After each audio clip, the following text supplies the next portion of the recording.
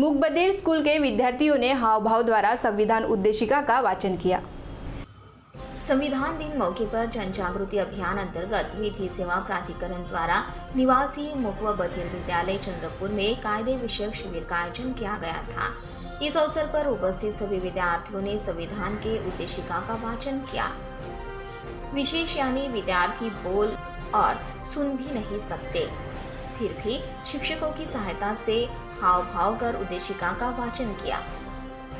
इस अवसर पर कार्यक्रम के अध्यक्ष के तौर पर समाज कल्याण अधिकारी सुरेश पेंदाम तो प्रमुख मार्गदर्शक के तौर पर जिला विधि सेवा प्राधिकरण के सचिव सुमित जोशी, साथ ही स्कूल के मुख्याध्यापक बल्कि प्रमुखता से उपस्थित थे।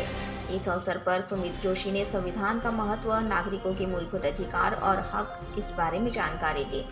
साथ ही समाज कल्याण अधिकारी सुरेश पेंदाम ने भी विद्यार्थियों को मार्गदर्शन किया।